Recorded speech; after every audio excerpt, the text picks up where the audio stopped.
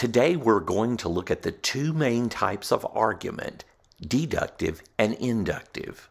Arguments use premises containing evidence or lines of reasoning to try to prove conclusions. Here is an example of a deductive argument for you. Premise 1 All frogs are green.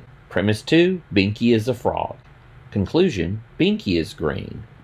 Binky For deductive or deductively valid arguments, if the premises were true, then the conclusion would have to be true.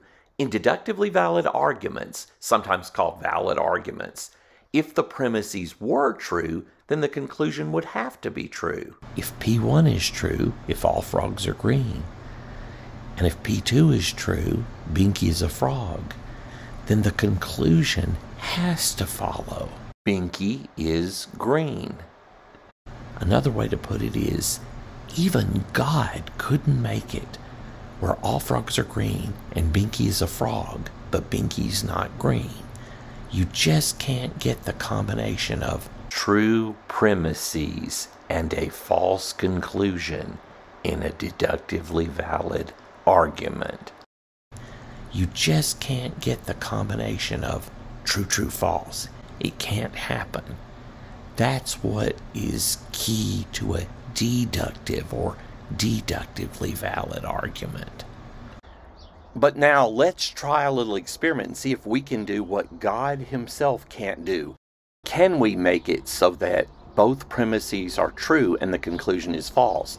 We're going to try to create a world now where all frogs are green, Binky is a frog, but it's false that Binky is green. And what I'm doing here, I'm painting Binky so it'll be true that all frogs are green, true that Binky is a frog, but false, Binky is green.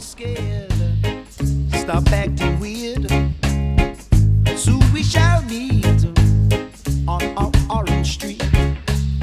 This music is sweet, makes you wanna move your feet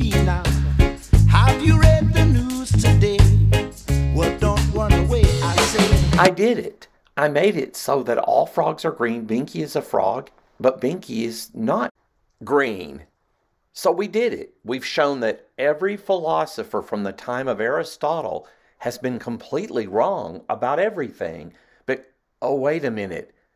By making the conclusion false, I flipped the first premise. Now it's not true that all frogs are green.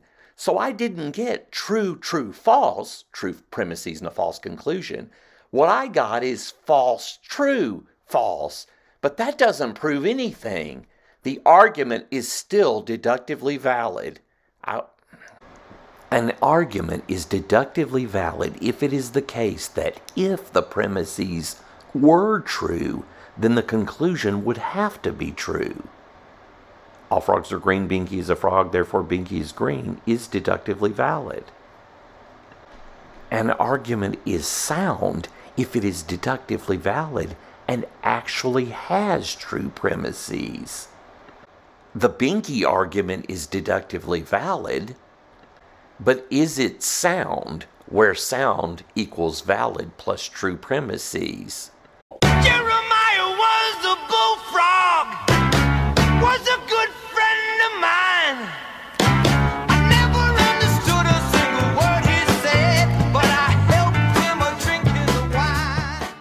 The Binky argument is valid, but it is not sound.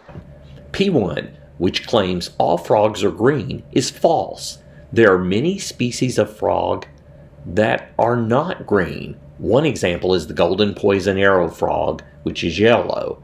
Those are com- Colombia, like the Pacific coast of Colombia. I'm reading out Wikipedia.